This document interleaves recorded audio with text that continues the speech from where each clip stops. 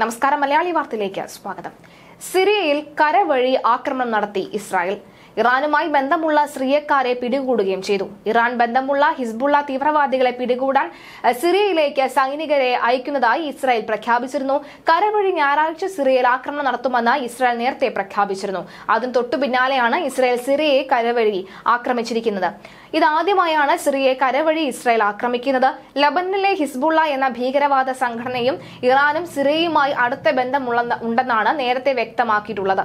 കഴിഞ്ഞ വർഷം ഹിസ്ബുള്ള തീവ്രവാദികളും ഇറാൻ ഉദ്യോഗസ്ഥരും ആക്രമിക്കാൻ ഇസ്രയേൽ സിറിയയിൽ ബോംബാക്രമണം നടത്തിയിരുന്നു എങ്കിലും ഇതാദ്യമായാണ് കരവഴി ഇസ്രയേൽ സിറിയയെ ആക്രമിക്കുന്നത്.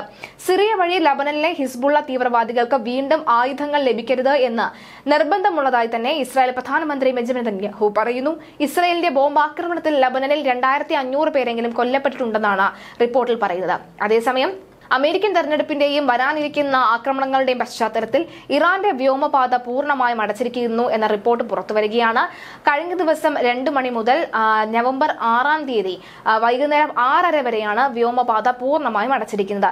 ഈ ഒരു കാരണം വ്യക്തമല്ലെങ്കിൽ പോലും മനസ്സിലാക്കാൻ സാധിക്കുന്നത് അമേരിക്കൻ തെരഞ്ഞെടുപ്പും അതുപോലെ തന്നെ ഇറാൻ ഇസ്രായേലിനെ ആക്രമിക്കാനുള്ള തയ്യാറെടുപ്പ് അതുകൂടിയാണ് എന്ന് മനസ്സിലാകുന്നു. ഇനി ഒരു പക്ഷേ ഇത്തരത്തിലുള്ള ഒരു ആക്രമണം ഉണ്ടായിക്കഴിഞ്ഞാൽ എങ്ങനെയായിരിക്കും രാജ്യം ഇതിനെ നേരിടുക എന്നത് ഖമേനി പറയുകയാണ്.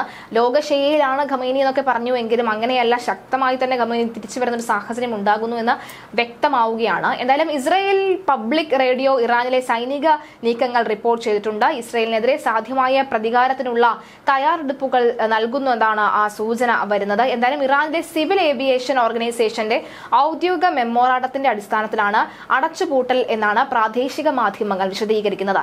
വ്യോമാതിർത്തി അടച്ചതിന് ഒരു പ്രത്യേക കാരണം ഉറവിടങ്ങൾ നൽകിയിട്ടില്ല എങ്കിലും യു എസ് തെരഞ്ഞെടുപ്പിനോട് അനുബന്ധിച്ച് തീരുമാനത്തിന്റെ സമയം അടുത്തിടെ ഇസ്രായേൽ സൈനിക ആക്രമണത്തിന് സാധ്യതയുള്ള പ്രതികരണത്തിനുള്ള ഇറാന്റെ തയ്യാറെടുപ്പുകളെ കുറിച്ചുള്ള ചർച്ചകൾക്കിടെ ഒരു മുൻകരുതൽ നടപടി നിർദ്ദേശിക്കുകയും ചെയ്തിരുന്നു.